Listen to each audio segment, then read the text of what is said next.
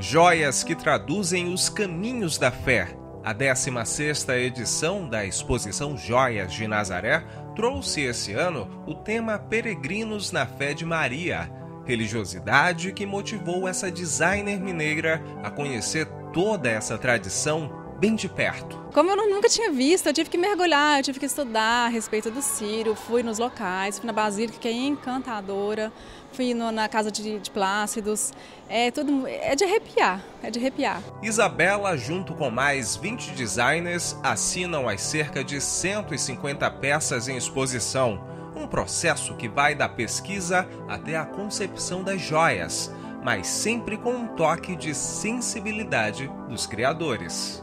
Todo ano a gente sempre busca inovar como é, promessas das nossas, né? É, inovar nos nossos desenhos, nas formas, nas joias em si. Todas as minhas peças têm esse intuito de retratar, simbolizar os peregrinos, é, sejam através de elementos do Sírio ou através de desenhos que retratem, que busquem é, significar a peregrinação. A chegada dos romeiros à Praça Santuário é um dos momentos mais marcantes durante o Círio de Nazaré. E essa vitrine da exposição remonta esse momento de fé.